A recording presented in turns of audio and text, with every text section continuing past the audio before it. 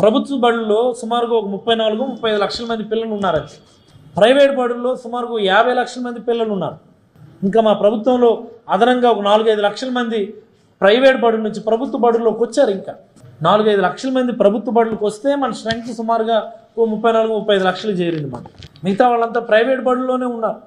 జగన్మోహన్ రెడ్డి గారి హయాం. మొదట్లో జనవరిలో ఇచ్చేవాళ్ళం అమ్మఒడి పదిహేను వేలు చొప్పున. లాస్ట్ రెండు మూడు సంవత్సరాలకు దాన్ని స్కూల్స్ మొదలయ్యే టైంకి అమ్మఒడి వేసేటటువంటి కార్యక్రమం చేశాం. మనం. అంటే జూన్లోనే అమ్మఒడి డబ్బులు వేస్తే ప్రైవేట్ బడిలో చదువుకునేవాడు ప్రైవేట్ ఫీజులు కట్టుకుంటాడు. ప్రభుత్వ బడిలో చదివేవాడు వాళ్ళ అవసరాలకు వాడుకుంటాం. గురుకులాల్లో చదివేవాళ్ళు ఈ ట్రావెలింగ్ లేకపోతే హాస్టల్ ఖర్చులు అవి ఇవి దానికి వాడుకుంటాడని జూన్లో ఇవ్వడం మొదలుపెట్టాము జూన్లో ఇవ్వటం వల్ల తల్లిదండ్రులందరికీ కూడా చాలా వెసులుబాటు ఉంటుంది. ముఖ్యంగా ప్రైవేట్ బడుల్లో చదివేటటువంటి తల్లిదండ్రులు ఎవరి దగ్గర చేయి చాచకుండా ప్రభుత్వమే నేరుగా పేరెంట్స్ అకౌంట్లో డబ్బులు వేస్తుంటే వాళ్ళు నేరుగా వెళ్ళి ఫీజులు కట్టుకొని వాళ్ళకి నచ్చిన బడులు నచ్చిన దగ్గర చదివించుకునేటటువంటి వెసులుబాటు ఇచ్చాము పదిహేను వేలు ఇచ్చి. కానీ అది చంద్రబాబు గారు పదిహేను వేలే ఇస్తానన్నారు.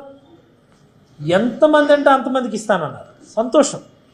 విద్యకి ఎంత ఖర్చు పెట్టినా తప్పులేదు అమ్మఒడి కూడా కాస్త ఏదో పేరు కూడా మార్చారు మీరు. తల్లికి వందరమని.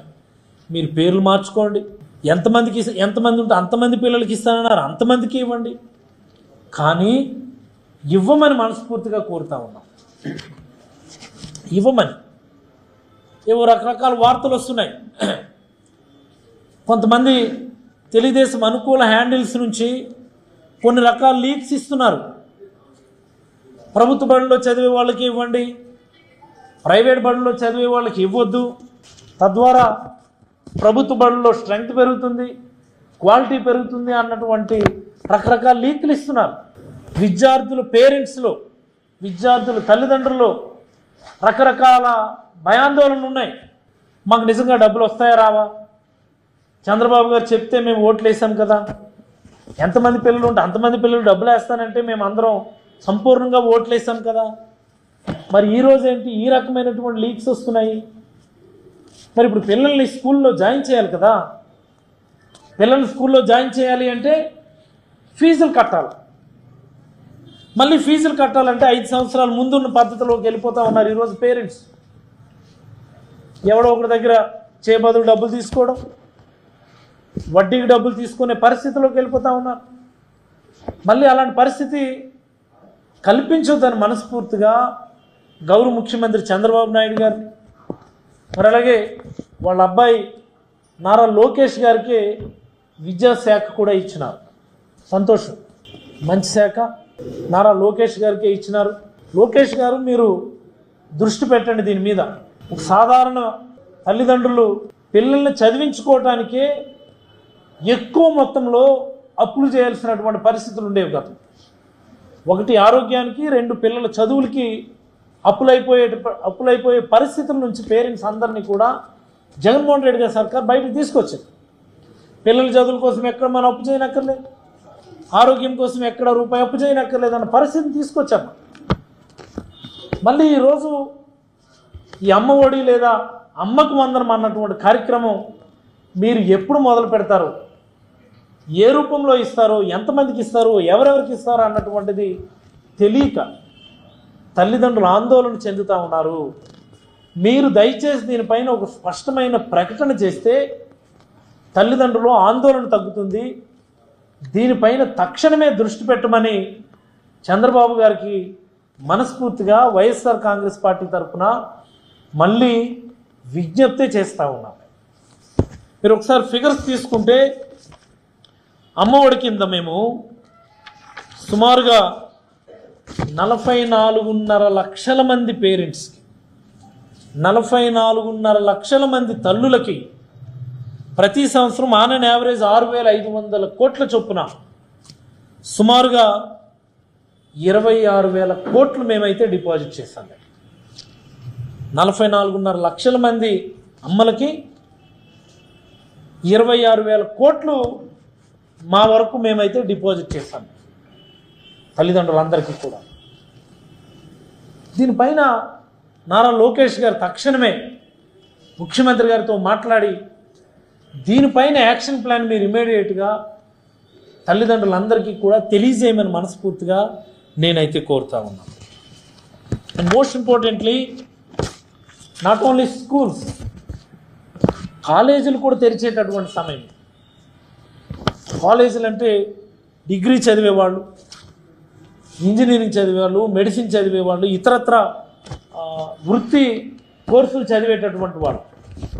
సమ్ కోర్సెస్ టూ ఇయర్స్ ఉంటాయి త్రీ ఇయర్స్ ఉంటాయి ఫోర్ ఇయర్స్ ఉంటాయి ఫైవ్ అండ్ హాఫ్ ఇయర్స్ ఉంది ఈవెన్ ఎంబీబీఎస్ అంటే క్యారీ ఫార్వర్డ్ జరుగుతూ ఉంటాం ఇప్పుడు అలాంటి వాళ్ళకి సంపూర్ణ ఫీజు రీఎంబర్స్మెంట్ కింద విద్యా దీవెన ప్రోగ్రామ్ మేము పెట్టాం? జగనన్న విద్యా దీవెన.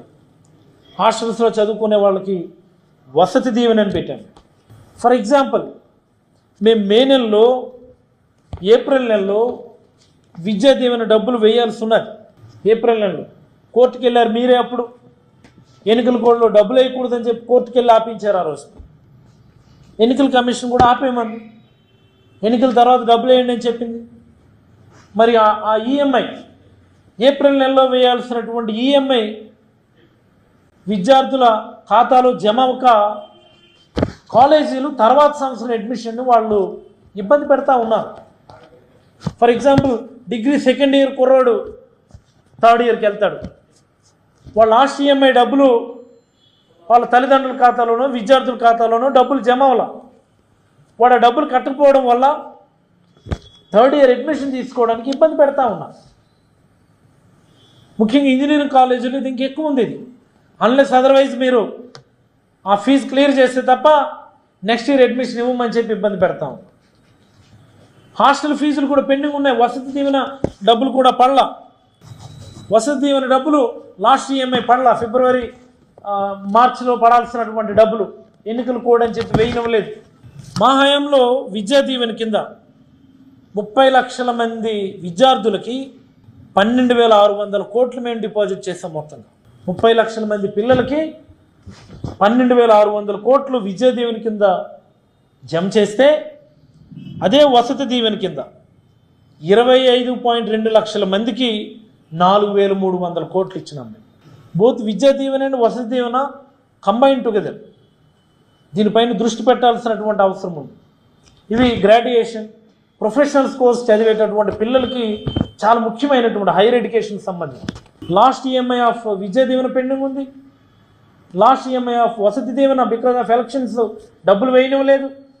వసతి దీవెన డబ్బులు పడకపోతే ఆ పిల్లోడు హాస్టల్లో జాయిన్ అవ్వాలి అంటే హాస్టల్ బిల్లు కట్టకపోతే వాళ్ళు తీసుకోరు హాస్టల్.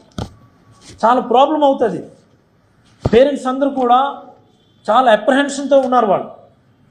ఆ ఈఎంఐ డబ్బులు వస్తాయా రావా మాకని? మా వరకు మేము డబ్బులు రెడీ చేసాం గవర్నమెంట్ జగన్మోహన్ రెడ్డి గారు గవర్నమెంట్. ఎన్నికల కోడ్ వల్ల వేయలేదు వేయనివ్వలేదు. మరి ఇప్పటికన్నా వేయాలి కదా? డిపాజిట్ చేయాలి కదా? దానిపైన సమ్ కైండ్ ఆఫ్ స్టేట్మెంట్ ఇవ్వాలి కదా విద్యాశాఖ మంత్రి గారు? కనీసం దానిపైన మీ రివ్యూస్లో కూడా మీరు రివ్యూస్ చేస్తున్నారు. విద్యాశాఖ రివ్యూస్ చేయాలి. సంతోషం.